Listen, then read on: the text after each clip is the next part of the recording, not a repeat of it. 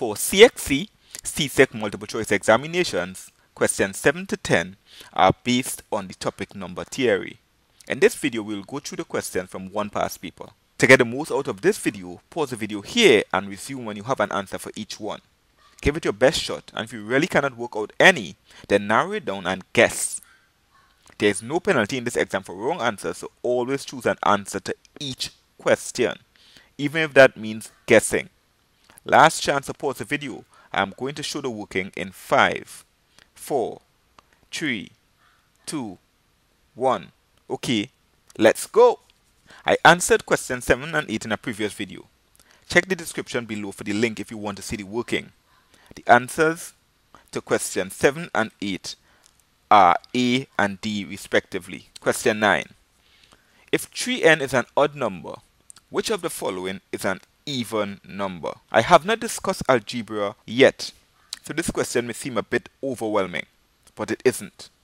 Answer A says 3n minus 1. We know that 3n is an odd number. So 3n minus 1 is the number before. So let me explain. So maybe 3n is equal to 9. Then 3n minus 1 would be equal to 9 minus 1 which is equal to 8. On the other hand, if 3n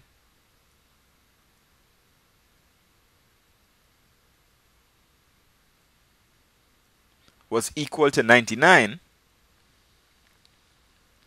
then 3n minus 1 would be equal to 99 minus 1, which is equal to 98. I use two examples here, but you can use as many examples as you are comfortable with. We see the trend. We got 8 and we got 98 and both are even. So this answer seems correct. But let's make sure that the other answers are wrong. B.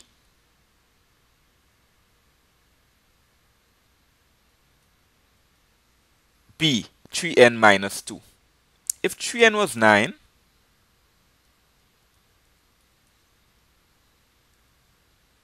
then 3n minus 2 would be equal to 9 minus 2, which is equal to 7. And if 3n was equal to 99, then 3n minus 2 would be equal to 99 minus 2, which is equal to 97. Neither 7 nor 97 is even, so we know that B is wrong. C. C says 3n plus 2. If 3n is equal to 9, then 3n plus 2 is equal to 9 plus 2, which is equal to 11. If 3n is equal to 99 on the other hand, then 3n plus 2 is equal to 101. 99 plus 2 is equal to 101. Neither 101 nor 11 is even, so we know that C is wrong. D. This is difficult to explain without algebra, but I will try. 3n plus 2n. If 3n is equal to 9,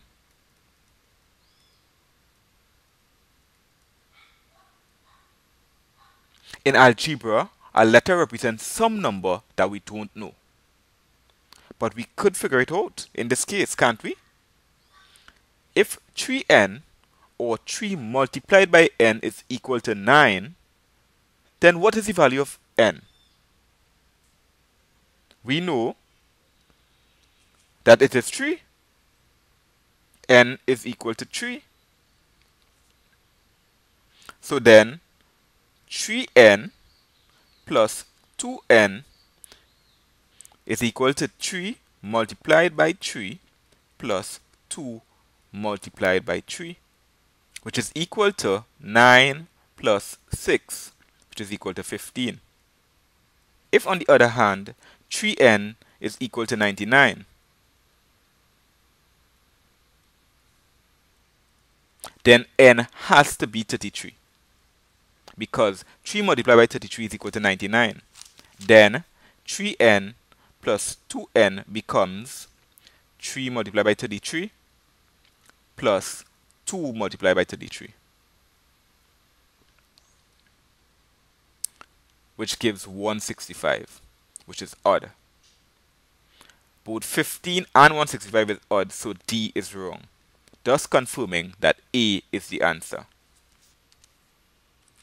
Number 10, 25 multiplied by 130 is the same as 25 multiplied by 100 plus 30.